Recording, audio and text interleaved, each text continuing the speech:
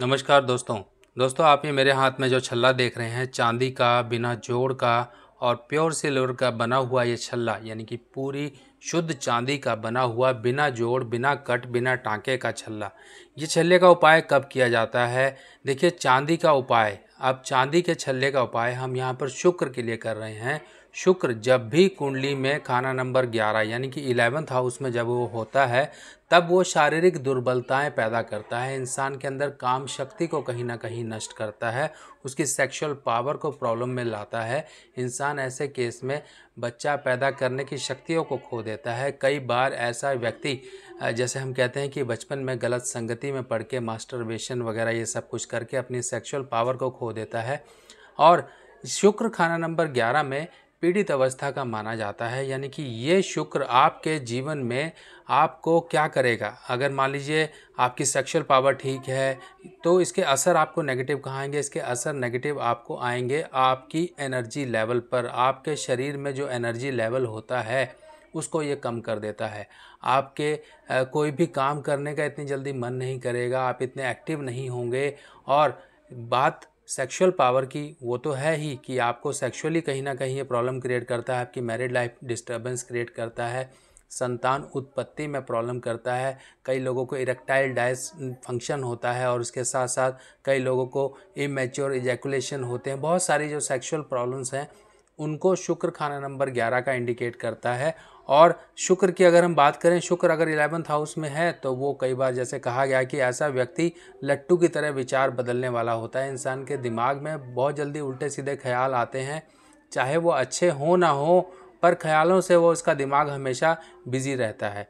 और married life की बात करें तो मैरिड लाइफ तो डिस्टर्ब हो ही जाएगी जब आप अपने जीवन साथी को फ़िज़िकल प्लेजर्स नहीं दे पाओगे बेड प्लेजर्स नहीं दे पाओगे, जो शारीरिक सुखों का एक जो ज़रूरत होती है वो कहीं ना कहीं डिस्टर्ब रहती है, जिस वजह से मैरिड लाइफ प्रॉब्लम होती है। अब ये शुक्र के उपाय के लिए हमने चांदी का छल्ला ही क्यों चुना, ये समझिए पहले। देखिए, जब शुक्र कहीं पीड़ित होता है तब चांदी का उपाय किया जाता है। जैसे कि शुक्र खाना नंबर छः में हो तब कहा गया, आप चांदी की गोली अपने पॉकेट में रखिए, जिसमें हमने चंद्र और बुध दोनों को शामिल करके शुक्र नीच की अवस्था को सही किया। अब मान लीजिए आपको शारीरिक, देखिए, दुर्बलताएँ आ रही हैं तो हमने इस छल्ले को पहनना है अपने हाथ के अंगूठे में। अब आप अपने हाथ के अंगूठे में आप इस तरीके से आप इसको पहनोगे और ये देखिए कि ये ऐसे पहना जाएगा। उसके बाद अब ये छल्ले को और किस किस कंडीशन में पहन सकते हैं वो समझिए। मान लीजिए शुक्र आपकी कुंडली में ख़राब है। शुक्र खराब है, कैसे खराब होगा? या तो वो राहु के साथ आ गया, या तो वो केतु के साथ आ गया, या तो वो सूर्य के साथ आ गया। अगर मान लीजिए शुक्र कमज़ोर है, तब इस केस में शुक्र को हमें चंद्र की मदद दे के सही करना पड़ता। अभी अंगूठा ही क्यों चुना गया, वो समझिए, अंगूठा क्यों चुना गया? अंगूठा, जैसे कि अंगूठे की अगर हम बात करें तो यहाँ पर राहु और केतु दोनों की बैठक मानी जाती है, यानी कि हमारे हाथों की उंगलियाँ जो है किसी न किसी ग्रह को रिप्रेजेंट करती हैं। उसी तरीके से हमारे हाथ का अंगूठा राहु और केतु को रिप्रेजेंट करता है और राहु और केतु जब आपस में मिलते हैं तो एक शुक्र पैदा होता है। शुक्र शुक्र यानी कि जो आपके जीवन में आपके शारीरिक एनर्जी को दर्शाता है, उसको शुक्र कहते हैं। शुक्र आपके जीवन की वैभव, सुख, समृद्धि सबको दर्शाता है। आपकी मैरिड लाइफ आपके जीवन साथी सबको दर्शाता है। अगर शुक्र ही आपका गड़बड़ हो गया तो आपके जीवन में ये परेशानियाँ लेकर आएगा। अब शुक्र के उपाय के लिए आपको ऐसे एक चांदी का छल्ला बनवा लेना है और उसको पहनने का तरीका समझिए क्या करना है। इसको पहनने का समय दिन का होगा, यानी कि सुबह आप नहा धोकर इसको गंगा जल या कच्चे दूध दोनों से आप धो सकते हैं। धोने के बाद आप इसको सीधे हाथ के अंगूठे में ऐसे पहन लीजिए। और अगर महिलाएँ हैं तो महिलाएँ भी इसको पहन सकती हैं, महिलाएँ भी इसको सीधे हाथ में ही पहने, सीधे हाथ के अंगूठे में पहने। और इतना ध्यान रखिए कि आपको जो भी छल्ला ये शुक्र के उपाय के लिए लेना है, उसमें किसी प्रकार का कोई कट या फिर जॉइंट नहीं होना चाहिए।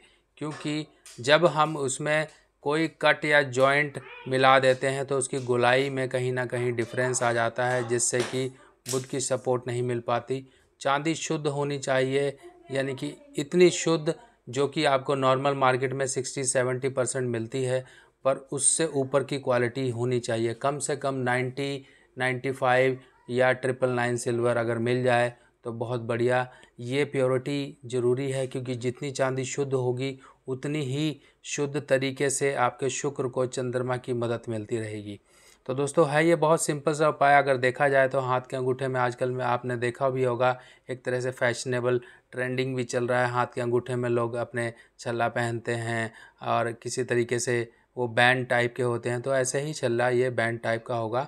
हाँ आप वज़न की बात कर लें, वज़न देखिए, इसमें आपको वज़न का कोई मैटर नहीं करता है कि आप कितना वज़न लें। फिर भी चार ग्राम एक मिनिमम वेट है, चार ग्राम से कम ना हो और अगर बढ़ा के आप लेना चाहते हैं तो दस ग्राम तक का आपको काफ़ी अच्छा रहेगा। यानी कि चार ग्राम से दस ग्राम तक का एक वेट होना चाहिए, एक छल्ले का। बस आपको जो बताई गई सावधानी है कि जॉइंट कट इस तरह की चीज़ें नहीं होनी चाहिए। अगर वो होंगी तो उस छल्ले का उतना अच्छा इफ़ेक्ट आपको नहीं मिलेगा। तो दोस्तों, आई होप आपको ये छोटी सी इन्फॉर्मेशन बहुत ही जीवन में काम करेगी और आपके लिए ऐसे ही और जानकारियाँ लेके मैं दोबारा हाजिर होऊँगा तब तक के लिए अपने सुभाष भाई को आज्ञा दीजिए। नमस्कार।